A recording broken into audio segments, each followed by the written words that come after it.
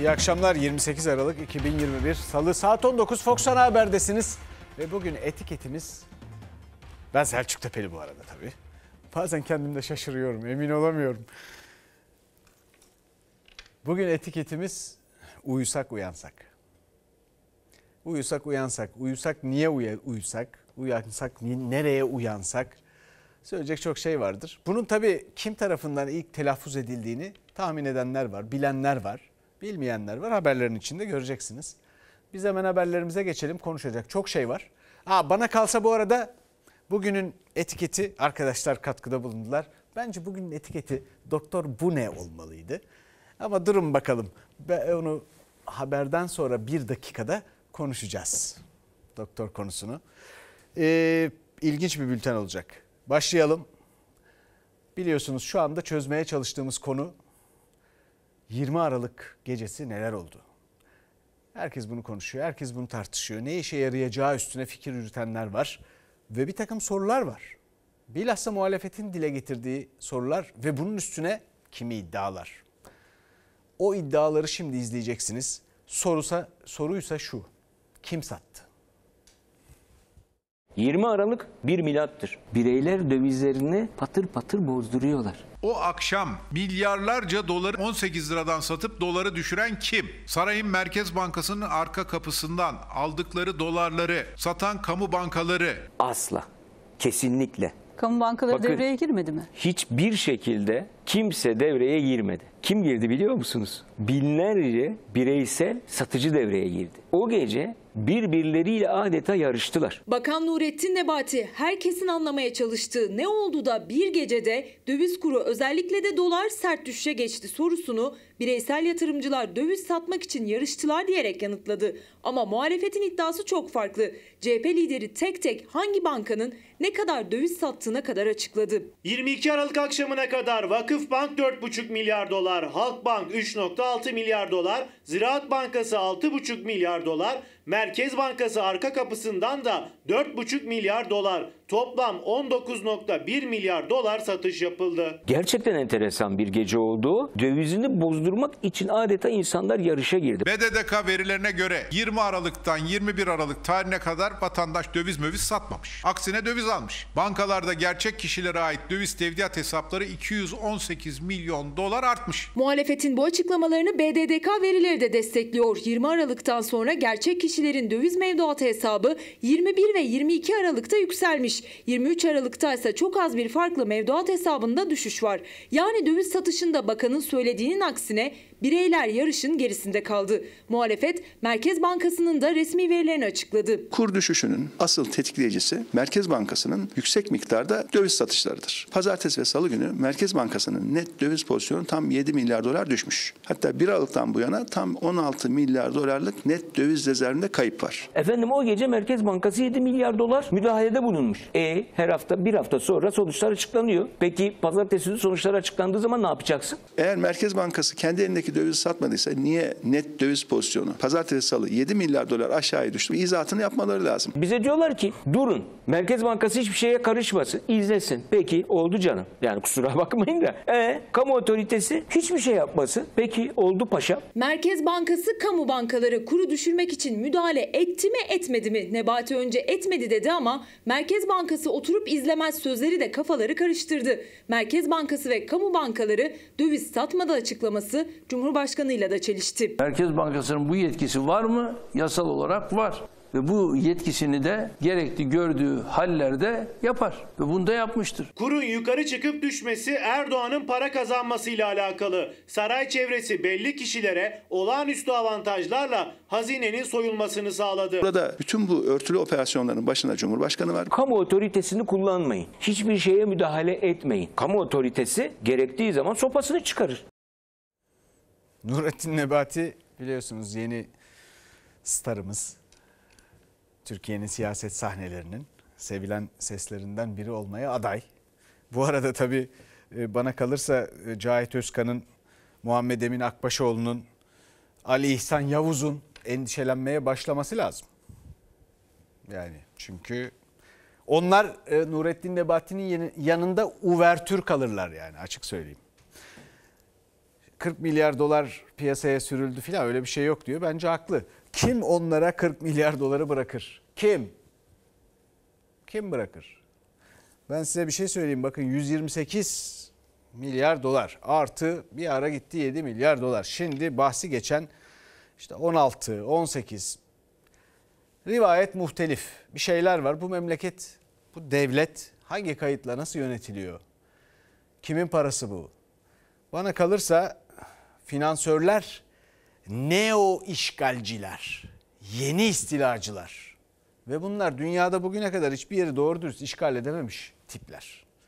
Körfez civarında mı ararsınız? Nerede ararsınız bilmiyorum. Yepyeni acayip bir şeyle karşı karşıyayız. Durun bakalım. Yaşayarak göreceğiz. Hepimiz yaşayarak göreceğiz. Öğreneceğiz. Şimdi geçelim Nurettin Nebati dedik. Nebati'den incilere. Enflasyon yüksek oldu, şöyle oldu, böyle oldu. Bu enflasyon önümüzdeki yıl geleceğe noktalar heyecanlanıyorum. Hani hep de hayal edersiniz de şöyle bir uyusam da 6 ay sonra uyansam diye. Ekonomi gözlerdeki ışıltıdır. Benim gözlerimdeki ışıltıyı arkadaşlarım görüyor. Gözlerinin içindeki ışıltıyla yeni ekonomi modelini savunan Nurettin Nebati enflasyonun düşeceği tarihi de verdi. 6 ay sonra göreceksiniz dedi ama bu kez de gözlerini kapayarak tüm Türkiye'ye de enflasyon uykusunu tavsiye ederek. Hani hep de hayal edersiniz de şöyle bir uyusam da 6 ay sonra uyansam diye. Bir uyuyun 6 ay sonra uyanın Türkiye'de. Yeni bir bakan portresiyle karşı karşıyayız. Ekonomi canlı mı canlı, büyüme %12'lere varmış diyor. Çift tane çift tane. İşler iyi ya. Zafer şarkıları söylüyorlar. Vallahi bizim gemi Titanic'e benzedi. Titanic'te batarken orkestraya daha hızlı daha hızlı diyorlardı. Birileri geminin battığından habersiz eğlenip dans ediyordu. Ben heyecanlanıyorum. Gözlerim parıldıyor. Işıklar saçıyor. Türkiye'deki ekonomik tabloyu gözleriyle anlatan Nurettin Nebati maskeli bir şekilde pazarda fiyat denetimi yaptığını da söyledi. Maskeyi takmışsınız. Tek başıma. Eşimle tek başıma. Pazara gittim alışveriş yaptım. Ne gördünüz insanların gözünde? Ya diyor Türkiye'de bir haftada ne oldu da oldu. Türkiye bu noktaya geldi diyor. O döviz kırıldı ya. Umutlar farklılaştı. Kimse şunu diyemez. Sabit gelirler enflasyona ezdirildi. Ne gördünüz İngiliz- pazarda? Ha, bakın fiyatlar yüksek. Döviz düştü. E buyurun niye yapmıyorsunuz? Enflasyonun düşüşü için 6 ay uyumayı öneren Bakan Nebati yüksek fiyatlar içinse döviz kurunun düşmesine rağmen indirime gitmeyen esnafı suçladı. Akaryakıt fiyatları neden düşmüyor sorusuna ise ilginç bir yanıt verdi. Fiyatlarını niye indirmiyorsunuz? Salgın döneminde hiçbir insanımız zarar görmesin diye eşel mobili uyguladık. Salgın dönemi bitti mi? Bitti. Ekonomi canlı mı? Canlı. Ey Nebati, yalan bu kadar rahat söylenmez. Çiftçi gübre atamaz, ekemez, biçemez duruma gelmiş. Esnaf perişan, Ülkede çarklar dönüyor. Bakan Nebati'nin dövizle ilgili açıklamaları da şaşırttı. Fiyatların düşmesini dövizle ilişkilendirdi ama vatandaşın dövizle işi yok da dedi. Cevapsa döviz garantili kamu özel ortaklığı projesi Osman Gazi Köprüsü'nden geçen Erhan Usta'dan geldi. Şu anda 46 dolar üzerinden gayet yaklaşık 500 lira olması gerekirken devletimiz sağ olsun 147 lirasını biz ödüyoruz.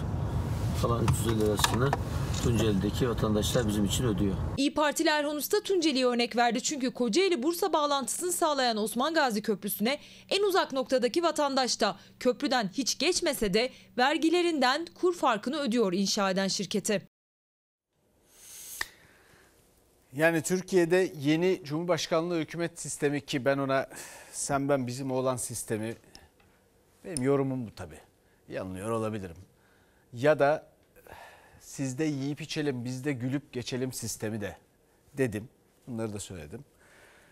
Türkiye'de bu sistemde artık bakan bulmak zor. O anlaşılıyor. Dolayısıyla bakan bulmak bakan bulmakta zorlandıkları için eee Neyse buna devam etmeyeyim. Yani buna de- devam etmeyeyim. Bir izleyicimiz dedi ki attıkları mesajlar var izleyicilerimizin. Artık sevgiye, mutluluğa, huzara, huzura uyanalım milletçe çok ihtiyaç var diyor.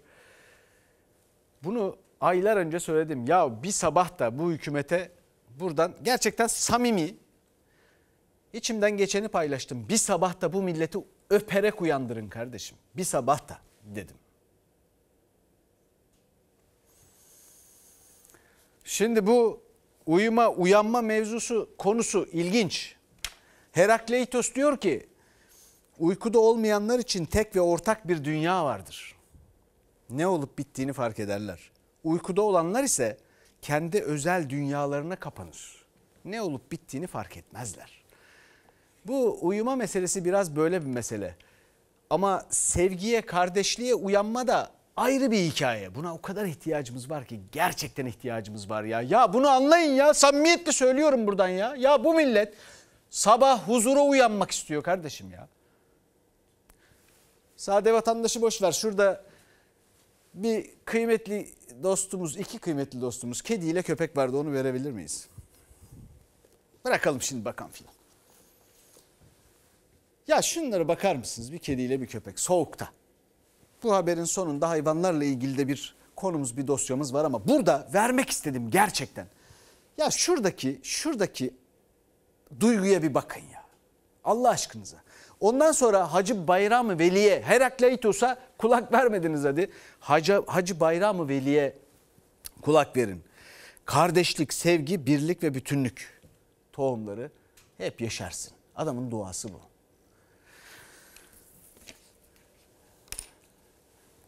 Biz gözlere bakıyoruz da o gözler bize bakıyor mu? Bu ülkenin vatandaşına bakıyor mu? Mesela peki sade vatandaş o gözlerde ne görüyor? Gördüğü şeylerle ilgili ne diyor? Bir bakalım ona. Ya bu sade vatandaşın dövizle ne alakası var? Nasıl ne alakası var?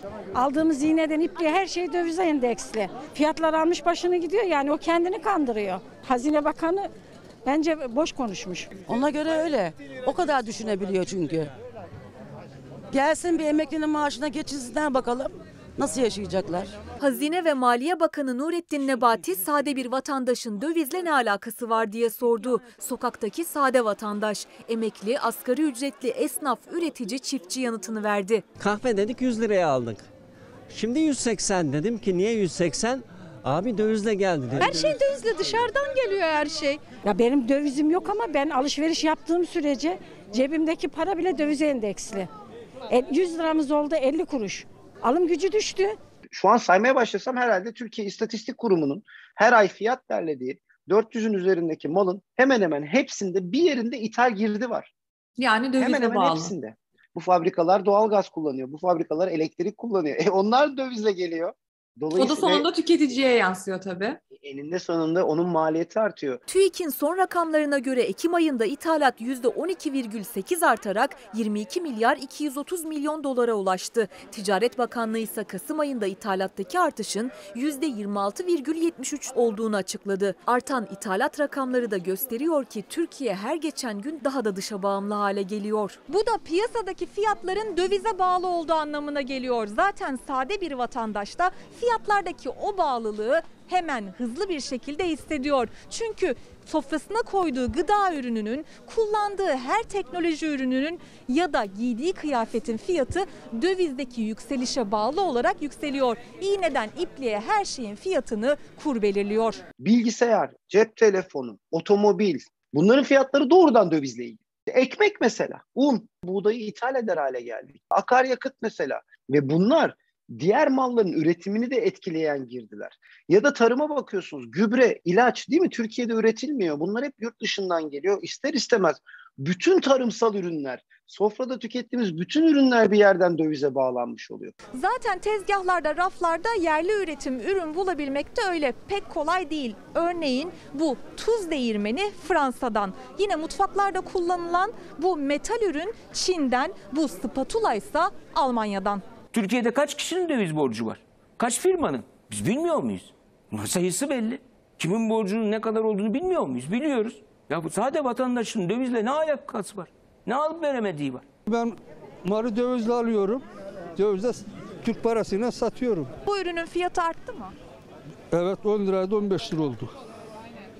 O oldu yani. Ya dövizle ne alakamız var olur mu? Her şey ona göre artıyor. Hiçbir şey alamıyoruz. İki kalıp peynir aldım 100 lira tuttu. Vatandaşın dövizle mecburen işi oldu. Bunun nedeni Türkiye'de o kuru istikrarının yitirilmesine neden olan politika uygulamaları. Alım gücü düşen sade vatandaşın dövize yatırım yapacak bir birikimi yok. Ama 18 lirayı gören dolar 11 liraya kadar düşse de artışla birlikte jet hızıyla etiketlere yansıtılan zamlar duruyor hala. Döviz çıktı diyorlar, dolar çıktı, her şeye zam geliyor. Ama dolar düştü, hiçbir şey düşmedi fiyatlar. Bazı insanlar da seviniyor dolar düştü diye. Niye sevineceğim ki? Zamlar kalıcı kaldı. Vatandaşın sadesi teferruatlısı olur mu ya? Bu tarif bakana ait. Sade vatandaş filan. Bize ait değil. Biz işte onlarız. Sizsiniz. Sade vatandaş dedikleri. Fakat farkında olmadıkları şu. Patron sizsiniz. Vergiyi siz veriyorsunuz. Bu ülkede ne yapılıyorsa yani boşa gidiyorsa bile, yanlış kararlar veriyorsa bile, çarçur ediyorlarsa bile nazik davranmaya çalışıyorum. Sizin cebinizden, sizin emeğinizdendir. Patron sizsiniz. Sade vatandaş. Bunu asla unutmayın. Bu arada tabii sade vatandaşa, sade vatandaşı tırnak içinde yine Sayın Bakan'dan alıntılayarak söylüyorum. Kulak vereceklerse Zehra Canan teyzeye bir kere daha kulak vermelerinde fayda var. Dün bahsettik. Kendisi her şeyi Arabi ile, Farisi ile tarif etti. Zehra Canan teyze biliyorsunuz işporta e, tezgahı var. Üzerinde örgü bir şeyler satıyor. Her şeyi de gayet iyi anlatıyor. Birinci sınıftan üçüncü sınıfa atlamış. Yetenekleri fark edilmiş. Üçüncü sınıfta terk etmiş okulu. Bu ülke insanlarını değerlendirebilseydi ki değerlendiremediği, kendisinin barındıramadığı, ülkede çalıştıramadığı insanlarından ikisi dünyaya ihtiyacı olan aşıyı buldu. O buldukları ve çalıştıkları ülkede o aşıyla beraber o ülkenin gayri safi milli hasılasında kayda değer bütün dünyanın konuştuğu bir artış oldu. Bütün bu efendim işte gözümün içine bak falan filan tırıvırlarına gerek kalmazdı. O insanlarla bu ülke uçar giderdi gerçekten uçardı ama. Lafta değil. Ama bu ülkeyi, bu ülkenin temelinde yer alan insanları ne kadar düşünüyorlar? Onların gözlerinin içine ne kadar bakıyorlar? Biz kimden şu anda bahsediyoruz? Emeklilerimizden bahsediyoruz. Pek çok mesaj var. Uyusak uyansak emekli maaşlarına geçinebileceğimiz kadar bir zam yapılsa diyen insanlar. Bizim büyüklerimiz. Bu ülkenin temeli, bu ülkenin kurucuları. Onları ihmal ediyorlar farkında mısınız? Bu nasıl yapılır ya? Nasıl yapılır? Gidin bu insanların elini öpün ve doğru dürüst bir zam yapın. Nerede bu zam ya? Doğalgaz, kızın doğalgazı kesildi şimdi. Yemek böyle yapamıyoruz. Bir kişi bir damat çalışıyor. Elimden geldiği kadar onlara yardım ediyorum. İki çocuk okula gidiyor torunlar. Doğalgazı kesiler ya yemek ısıtamıyoruz. Çiğ köfte almaya mı? He çiğ köfte almaya geldim. kadar bir durum? 7 lira mı ne? Eşinin emekli maaşıyla kızının ailesine de destek olan Zeynep Hanım doğalgazı kesilince torunlarına yemek yapamadı. Öğrenci fiyatı 7 lira olan çiğ köfteden alabilmek için dükkanın kapısında bekledi açılsın diye. Kendi açlığını değil torununun tokluğunu düşündü. Zeynep Hanım ve onun gibi milyonlarca emekli açlık sınırının altında yaşıyor. Türk İş açlık sınırını 4013 lira olarak açıkladı. Emekli zam döneminde açlık sınırının üzerine çıkabilecek mi belirsiz. Bir hediye geldi çocukların sünnetinde küçük altın. Onu bozdurdum. Kız da 50 lira mı ne koydu onun üzerine. Yatırdık bakalım ne zaman açılacak. Açılmadan olmuyor yavrum. Yemek yap, çocuklara çorba pişir. Soğuk da hava. E, bir de hava soğuk. Torununun sünnet altınını satıp doğalgaz borcunu kapattı ama hemen açılmadığı için tenceresini kaynatamadı. Türk İş Aralık ayı açlık ve yoksulluk sınırı rakamlarına göre 4 kişilik bir ailenin açlık sınırı 4013 lira. 4 bin liranın altında emekli maaşı alan milyonlarca emeklinin ailelerine karşı sorumluluğu da devam ediyor. Yani bakmakla sorumlu oldukları kişi sayısı bazen 4 kişi hatta daha bile fazlası. Gelin benimle oturuyor. E, torunlarım okula gidiyor. Oğlumun işi yok, çalışamıyor. 2600 lirayla nasıl geçinelim? 600 lira faturalarım geldi. Bekliyorum akşamüstü olsun, ucuzlasın alalım diye. Biz kalabalık aile. Yani yaklaşık yani üç buçuğa yakın emekli maaşımız alıyoruz. Yetmiyor bir de. Kalabalık mısınız? Kaç kişisiniz? 8. Kızım da yanımda duruyor. Torunum ayrıldı kız şeyinden. Beraber oturuyoruz. Memurlara nasıl verirse bizim SSK'larda mecbur aynısını verecekler. Böyle zor zaman bilmiyorum artık. Çoluğumuz çocuğumuz hepten zor zamana. Yani büyük ihtimalle bundan 50 sene evvel dö- dönüş yapıyoruz yani 60 sene evvel. Düştü.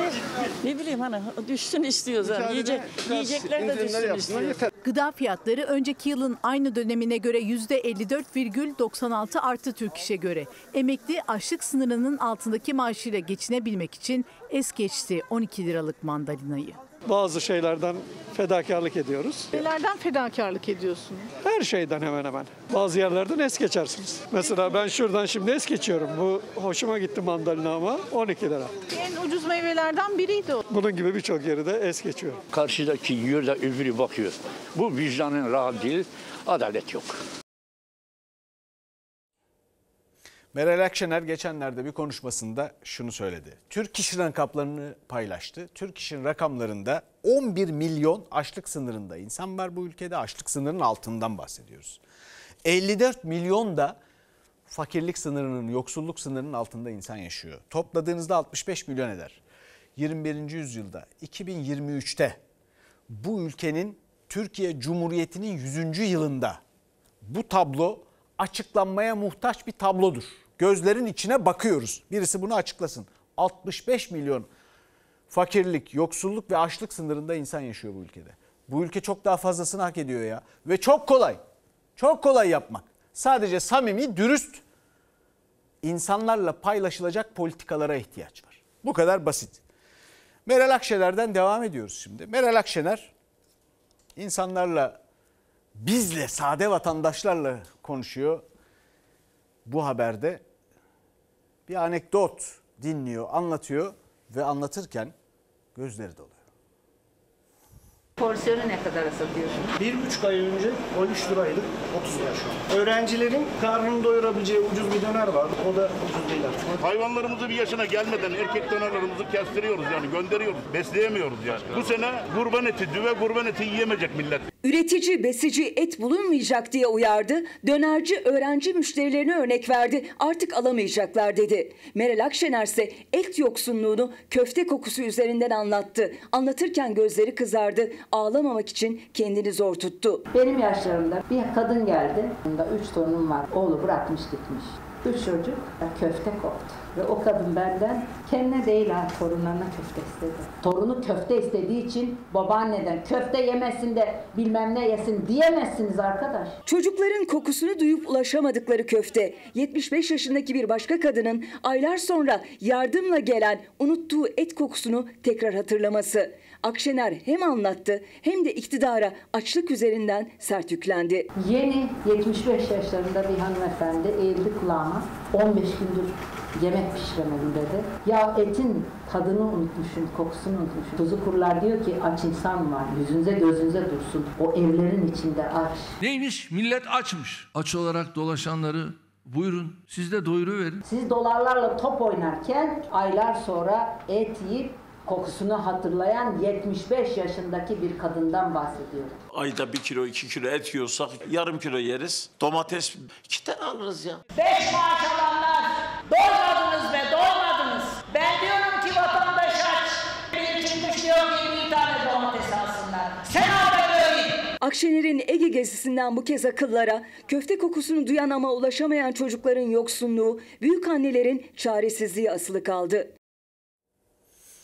Bir izleyicimiz demiş ki EYT çıksın derken asgari geçim, geçim indirimi de gitti. Uyusak uyansak asgari geçim indirimi dönse EYT çıksa. Burada emeklilikte yaşa takılanları da anmış olalım. Onlar hala cevap bekliyorlar. Peki şimdi çiftçimize dönelim. İki haber var şimdi. İkisini birlikte düşünmelisiniz. İki haberin başlığı da birbirini tamamlıyor. Bir tanesinin başlığını söylüyorum. Türkiye'de çiftçiye köstek. Bakın nasıl. Ah ah hangisine ah diyeyim ah. Ah ah ya. Sabaha kadar hem ciğerim yanacak hem bu mazotlar yanacak. Söyleyecek çok şey var da. Hem söyleyeceği çok hem de borcu. Faiz kıskacında çiftçinin ne derdi ne de borcu bitiyor. İcralık tarlalar satışta. Çünkü borcunu ödemek için kazanması gereken çiftçi deposundaki mazota çalışır hale geldi. Sivaslı Mahmut Akkaya akaryakıt istasyonundan tarlasına kadar görüntüledi durumu. Bir buçuk ton patates satarak ancak 3 bidon mazot alabildiğini söyledi. Kazanç nerede?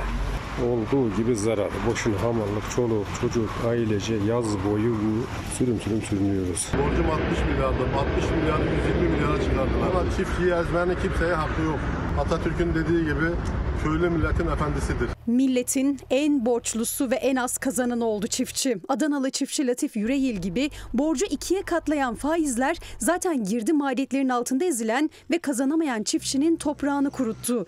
Destek yerine haciz geldi. Tarım kredi kooperatifleri ve Ziraat Bankası çiftçiye aman vermiyor. Haciz batağına sokacağınıza mazot, tohum, gübre desteği verin.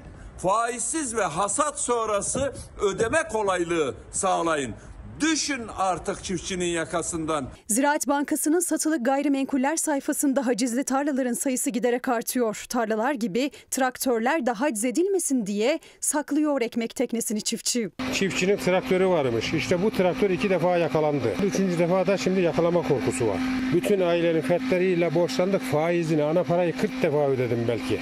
Zonguldak'tan Maraş'a, İzmir'den Artvin'e, Şanlıurfa, Amasya, her ilden satılık tarlaları görmek mümkün. O illerden çiftçileri Ankara'da görmekte. Sürekli Tarım Kredi Kooperatifi Genel Müdürlüğü'nün kapısını çalıyorlar. Ama kapı duvar oluyor. Çiftçiye gelince kesilen yüksek faize karşılar. Çiftçimiz ne almış, ne kadar faiz yemiş burada hodri meydan diyoruz. Çıkar borcumuzu. Ben AK Partiliyim. Ben reise gönül vermiş bir kişiyim. Adam bana diyor ki ya kardeşim diyor daha hala reis reis diyorsun diyor ya. Şu geldiğin hale bak. Ben bunu biliyorum bunu bana reis yapmadı. Bunu bana gübreyi satan yaptı.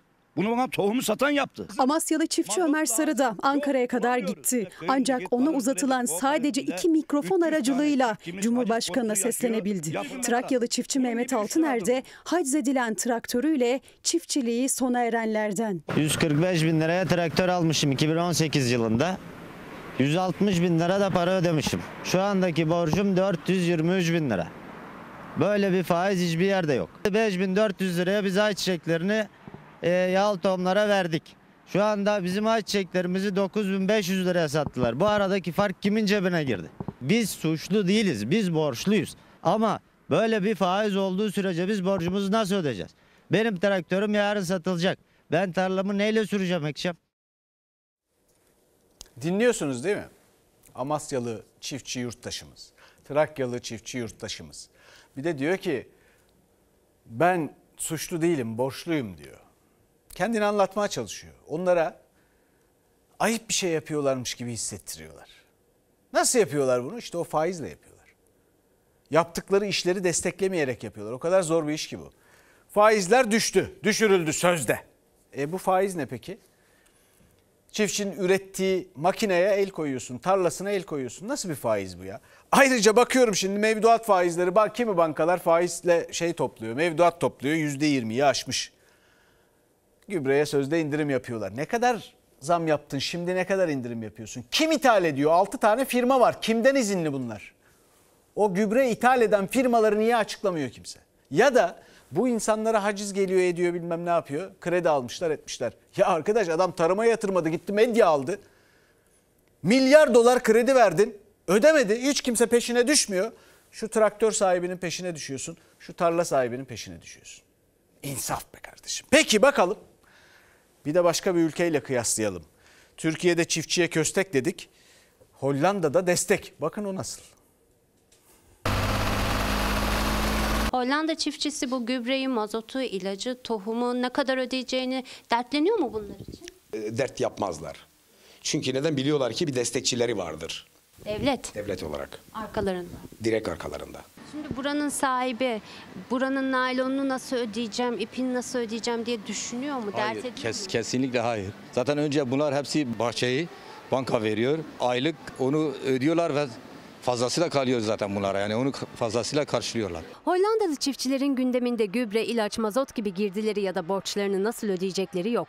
Onlara destek için kurulan kooperatif traktörlerine haciz de getirmiyor. Devletin eli tohumun toprakla buluşmasından itibaren omuzlarında. Yetiştirdikleri ürünü nereye satacaklarını da düşünmüyorlar. Başarının sırlarından biri de bu ürün ve ticaret planlaması. Buranın biberleri nereye gidecek şimdi Mehmet Bey? Bu, burada İngiltere'ye, Almanya'ya, Amerika'ya, Japonya'ya, Direkt müşterisi var mı yani? Polonya'ya evet devamlı müşterisi var. Yani hiç nereye satacağım diye düşünmüyor buranın Va- sahibi. ge- genelde yani hiç çıkmadan şu, şu andan satmışlar bile. Toprak tarımı yapılan bölgede tarlalar cetvelle çizilmiş gibi seracılık bölgesi, havadan adeta sera denizi. Ülkede ne üretilip pazarlanacağı 7 yıllık planlarla belli. Yenilik ve verimlilik üretenlere ise özel teşvikler var. Finansman gerektiği zaman bankalarla özel bir anlaşma yapıyor devlet. Diyor ki yani bunu üretmek, e, geliştirmesi için sarf edeceği gayrete falan e, bütün desteği ver. Ben de arkasında duruyorum devlet garantisi olarak. Yani çiftçinin üretmesi için bankayla gidiyor, devlet anlaşma yapıyor. Ben kefilim diyor yani Aynen, bu üreticiye. aynen, Sen aynen. bunu verecek. Ve özellikle Covid döneminde bunu yani çok yaptı. Sadece çiftçi için değil, tarımla uğraşan her sektörde krediye ihtiyaç duyulduğunda kefil aramak zorunda kalmıyor Hollandalılar. Çünkü devlet zaten garanti oluyor. Aldıkları her kuruşu da yine üretim için harcıyorlar. Ticari akıl bunlarda tabii ta orta çağdan geliyor. Öyle bir özellikleri de var. Yani çok kabiliyetli ve azimli insanlar öyle diyebilirim. Ve bunu her günde yani görüyoruz yani iş ahlakları da çok üst düzeyde. Hollanda'da tarım bir bütün. Tarladan seradan üretim tesisine, tesisten pazarlama birimlerine, ihracat şirketlerine, nakliyesine, limanına. Hepsi içinde binlerce çalışanı barındıran büyük bir zincir. Ve bu zincir özellikle koronavirüs salgını döneminde devletin desteğini arkasında hissetti. Hollanda'da şöyle bir Avrupa'da insanların şöyle bir e, şey mentalitesi vardır. Ya biz çok vergi ödüyoruz. E, çalıştığımız, kazandığımız paranın yarısı vergiye gidiyor falan diye. Hani e, dert yakınır ya Avrupalılar. Ama aslında şunu gördük. Yani devlet ne yapıyor aslında? O aldığı vergilerle sana aslında mükemmel bir ülke veriyor. E şimdi Covid döneminde Hollanda hükümeti bir açıklama yaptı. Dedi ki vergiden topladığımız rezervlerde 100 milyar dolarımız var, şey euromuz var. Biz bunu destek olarak bütün şirketlere dağıtacağız. Diyor ki ben en iyisi bu şirketi ayakta tutayım. İnsanlar çalışmaya devam etsin. Motivasyonları yine üst düzeyde olsun. işsiz kalmasınlar. Çünkü kaldıkları zaman bir şekilde yine kendi onu karşılayacak.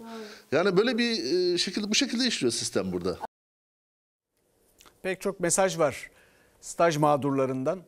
Staj süresi SGK'ya sayılsın, emekliliğe sayılsın diyen o çocuklar önemli. Bu çocuklar bizim bu ülkemizin şu andaki yapı taşları. Bunları küstürmeyin. Emeklerini yok saymayın. Bir kere daha söylüyorum, önemsiyorum. Şimdi geçelim İstanbul Büyükşehir Belediyesi ile ilgili biliyorsunuz bir teftiş prosedürü var. Fakat bir de tuhaf bir durum ortaya çıktı. Dün bizim burada söylediklerimizin ardından teftişte acaba tereddüt mü var? Tutuklarsınız kulağından tutar götürürsünüz teröristi. Ama ortada bir şey yokken 557 İstanbul Büyükşehir Belediye personelini nasıl zan altında bırakırsınız? Buna kimin haddi var? Belediye koridorlarında konuşulanlar var. Fiilen X, Y, Z deme şansına sahip değilim ama koridorlarda çok dillendiriliyordu. Bakanımız dillendirilen şeyi isimlendirdi. PKK ve KCK ile iltisaklı. Yargı tarafından da bu tescil edilmiş. FETÖ'den ihraç ettiğimiz birçok kişinin yoğunlaştırılmış olarak buraya İstanbul Büyükşehir Belediyesi'ne işe alındı. Belediyede Süleyman Bey bakarsan fink atıyor teröristler. Kafalarda poşu, ellerde kalaşnikov geziyorlar. İstanbul Büyükşehir Belediyesi'ne başlatılan teftiş İstanbul-Ankara hattını ısıttı. Belediyede terörle bağlantılı çalışanlar var iddiası için Soylu net cümleler kurmuştu. Bir gün sonra gazeteci İsmail Saymaz'a konuşan İBB AK Parti Grup Başkan Vekili Tevfik Göksu'nun açıklamaları ise çok dikkat çekiciydi. Terörle bağlantılı çalışanlar iddiasına koridorlarda konuşulanlar dedi. İmamoğlu'ndan dedikodu çıkışı geldi. Bozuk saat bazen doğruyu gösteriyor Tevfik Bey de. En azından bu işin dedikodudan yürütüldüğünü kabul etmiş durumda. Dedikoduysa kendilerinin içinde olan bir dedikodu. Bir insanı net tespit olmadıkça bir konuyla ilgili isimlendirmek hakkaniyet ve hukuk adına doğru olmaz. Elbette bilgimiz var. Bakanımızın elinde datalar var. Benim elimde öyle bir data yok. Kalkıp da zanla öyle bir ifadeyi kullanmak vicdanen doğru olmaz. İçişleri Bakanlığı İBB Gübre'ye özel teftiş başlattı. Gerekçe terörle irtibatlı ve iltisaklı çalışanlar var iddiası. Soylu amaç güvenlik terörle mücadele demişti. İmamoğlu siyasi dedi. Bir siyasi amaç güttüğünü halen hissetmekteyim. Bunun siyasi bir tarafı yok. Bunun bir güvenlik tarafı var. Meclisin ana salonunda, bütçe görüşmelerinde haykıra haykıra bunları sıralamanın anlamı ne o zaman? Güvenlik meselesi hususi yönetilir. Memleketin istihbaratı vardır. Yargılama biçimi vardır. Bizim kimsenin belediyesiyle işimiz yok. Bizim terörle mücadeleyle işimiz var. İstanbul'a intikam teftişi yapıyor. Elindeki karayı, çamuru kimi bulursa onun yüzüne sürüyor. Vallahi bir tek kendi yüzüne yapışır. Böyle iyice sıvazla kardeş. Bir sen utanmıyorsun. İmamoğlu personel alımlarında resmi prosedür neyse o uygulandı. Eğer bir soruşturma açılacaksa Adalet ve İçişleri Bakanlığı'na açılmalı demişti. Okları bakanlıklara çevirmişti. Adalet Bakanlığı sessiz. Tevfik Göksu ise İmamoğlu'nu gerekeni yapmamakla suçladı. İmamoğlu'nun yapması gereken önemli bir iş vardı. Onu yapmadı. Böyle bilgi varsa araştırıp kimdir diye bakması gerekirdi. Yahu kardeşim zaten İçişleri Bakanı haykıra haykıra söyledi. Ben bir gün sonra soruşturma başlattım. Madem bu dedikoduları gördün, duydun. Ey başkanım senin koridorlarında böyle dedikodu var. Buna tedbir al deyip niye kapımı çalmadın? Sinsi mi davrandın? Cumhuriyet Halk Partisi Genel Başkanı Kemal Kılıçdaroğlu'dan da bu konuda bir tepki var. Diyor ki o da iktidarda kalmak için atmayacakları iftira yok. Hala duyuyorum işte 2023 seçiminden sonra İstanbul tekrar gerçek sahibi olan AK Parti'ye dön. Ya kim neyin sahibi ne sahipliği? Yarın merkez idare de değişecek. Buradan siyasetle çıkmaz boşuna uğraşmasınlar. İstanbul Büyükşehir Belediye Başkanı'na da buradan e, sesleniyorum. Endişe etmeye gerek yok. Büyükşehir Belediyesi ile ya da başkanıyla ilgili bir soruşturma meselesi değildir.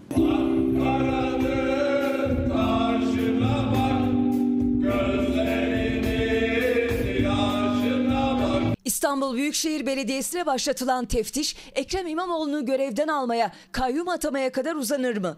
Kritik soru kulisleri ısıtırken İmamoğlu CHP'li Büyükşehir Belediye Başkanlarıyla marş söylerken rahattı. Millet İttifakı'ndan iktidara sert uyarılar peş peşe geldi. Hangi gerekçeyle yapacaklar? Bunu yaptıkları takdirde umarım yapmazlar. Türkiye'yi kimsenin rezil etme hakkı yoktur. Açığa alındı raporunu verecek öyle bir müfettiş olacağını sanmıyorum. İstanbul'u alırsak seçimlerde istediğimiz kadar rahat para harcarız gibi bir anlayışları olabilir. Bay Kemal ve onun müridi Bu millet sandığa attığı oyuna el uzatılırsa o uzatan ele şak diye bir şamar atıyor.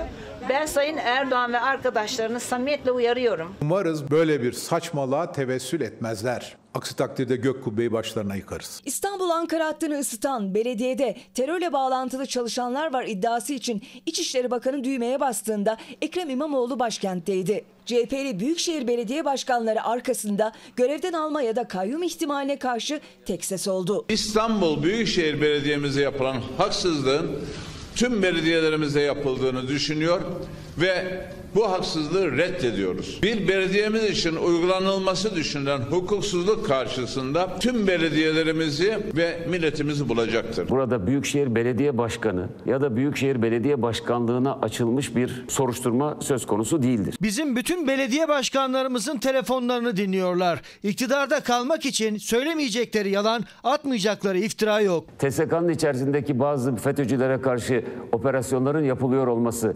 hükümetin TSK'ya karşı bir tavrını mı ortaya koyar? Hayır, Büyükşehir Belediyesi ile ya da başkanıyla ilgili bir soruşturma meselesi değildir. İktidardan gelen bu teftişin başkanla ilgisi yok. Siyasi değil, güvenlik ve terörle mücadele sözleri kayyum tartışmalarını yatıştırır mı? Teftiş nasıl sonuçlanır? Siyaset yakın takipte.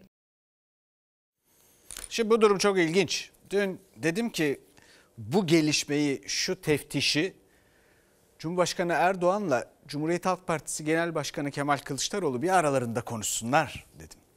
Çünkü Millet İttifakı'nın Cumhurbaşkanı adayı bekleniyor biliyorsunuz. Ve işin ilginç tarafı Millet İttifakı'nın adayı beklenirken Cumhur İttifakı'nın bütün mesaisini neredeyse o adayın belirlenmesine harcamaya başlamış olması. Bana öyle gibi gibi geliyor nedense. Çünkü böyle bir teftiş sadece aday yapmakla kalmaz dedim dün. Ekrem İmamoğlu'nu Cumhurbaşkanı da yapabilir. Türkiye'de pek çok siyasi tecrübe yaşandı. Bugün pek çok ilginç açıklama geldi. AK Parti milletvekili Şamil Tayyar benzer bir şekilde sanki Ekrem İmamoğlu'nun parlatılmasına yönelik bir şeymiş gibi gördü ve bir tweet attı. Numan Kurtulmuş burada soruşturulan veya teftiş edilen Ekrem İmamoğlu değil dedi. Tevfik Göksu ki kendisi AK Parti yönetiminin iktidarının Ekrem İmamoğlu ile muhatap olmak üzere tasarladığı kişiymiş gibi gelir bana hep. Çünkü hep cevapları o veriyor o konularda. Ondan da ilginç açıklamalar geldi.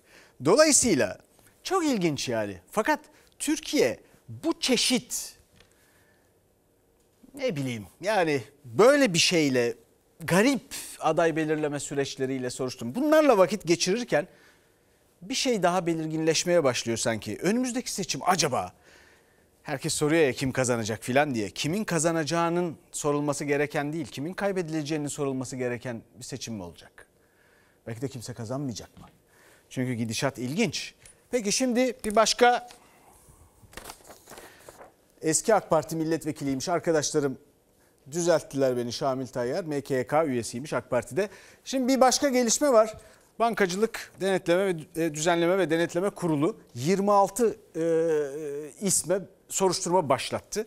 İkisi milletvekili, ikisi eski Merkez Bankası Başkanı ve orada bankacılık kanunu maddesi e, e, söz konusu.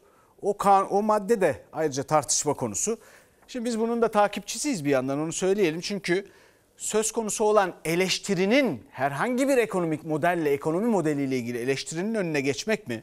Yoksa spekülasyonun peşine düşmek mi? Bakacağız, takipçisiyiz. Peki şimdi geçelim neye? Söz konusu olan can dostlarımız biliyorsunuz. Hayvan severler bugün eylemdeydi.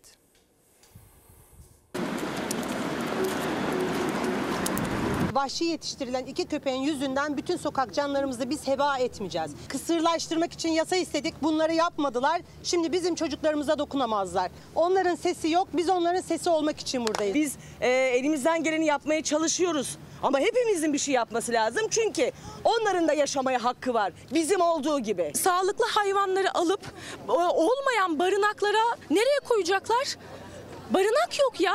Yetersiz barınaklar, sokaklardan toplatılan sahipsiz köpekler nedeniyle 25 ilde hayvanseverler sokaktaydı bugün. Gaziantep'te 4 yaşındaki Asiye sahipli iki pitbull köpeğinin saldırısıyla yaralanmıştı. Ama konu sokak hayvanlarına geldi ve çok can acıtarak çok da yaralayan görüntülerle toplanmaya başladı hayvanlar. Öncelik hayvanları toplamak değil, tamam saldırganları alalım, rehabilite edelim ama büyük bir kısırlaştırma seferberliğinin yapılması gerekiyor. Hayvanseverler İstanbul Beşiktaş'ta sokak hayvanlarının toplatılmasıyla ilgili protestodalar. Özellikle de 81 ilin valiliğine gönderilen genelgeyle ilgili detayların açıklanmasını istiyorlar ve barınak gerçeğinin de aslında Türkiye'de ne kadar büyük bir sorun olduğunu altını çiziyorlar. Birçok yerde toplamaların devam ettiği haberleri geliyor.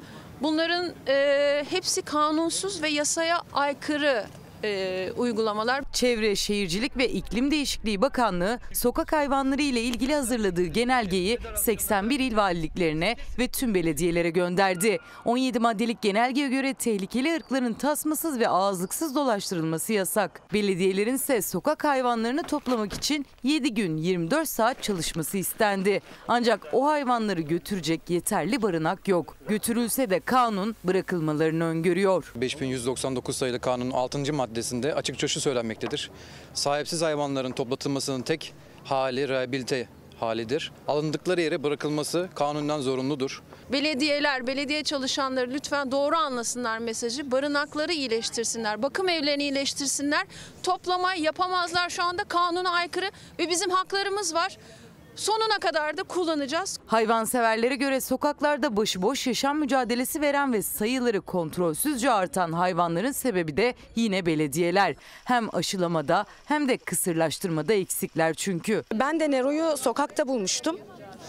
İyileştirdim, bebek gibi baktım ama 8 yıllık komşum tarafından karı koca evime saldırılarak benim köpeğim silahla öldürüldü. Ve bu insanlar dışarıda Bir buçuk yıl önce sokaktan sahiplendiği köpeği Nero komşuları tarafından silahla vurularak öldürülmüştü Deniz Özulu'nun. Henüz acısı azalmamışken sokaktan toplanan hayvanlar için o da eylemdeydi. Benim için e, hangi köpek olduğu ya da hangi can olduğu hiç önemli değil. Hepsinde aynı acıyı yaşıyorum. Bu ülkede merhametliysen, insansan yaşamak çok zor. Şimdi bu konu o kadar anlaşmanın zor bir konu gibi ol, zor bir konu olduğunu söylüyor ki bize.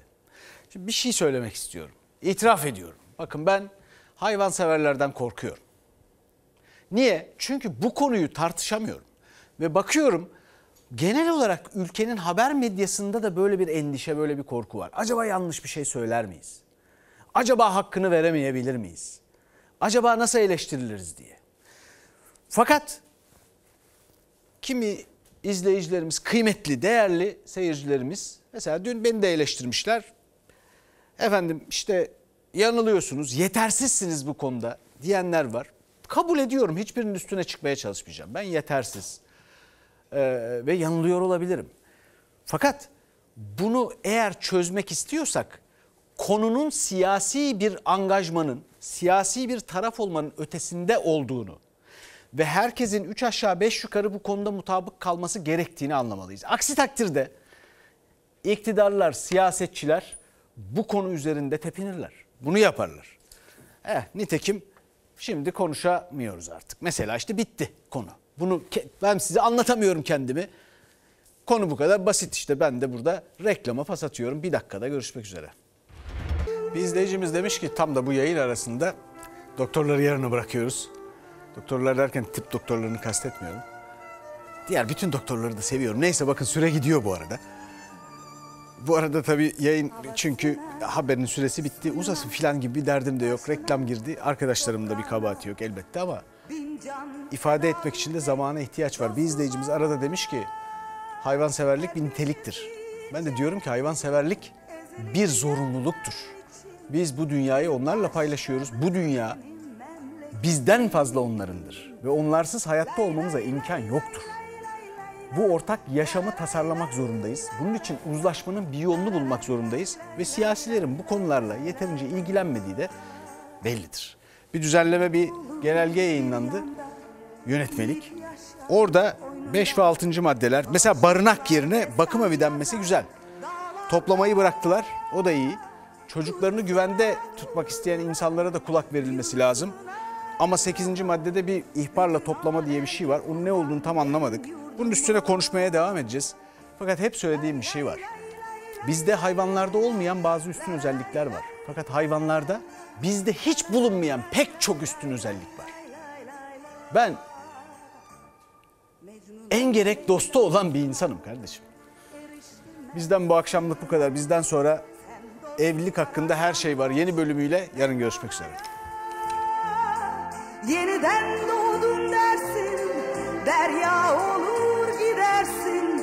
Bir başkadır benim memleketim. Lay lay lay lay lay.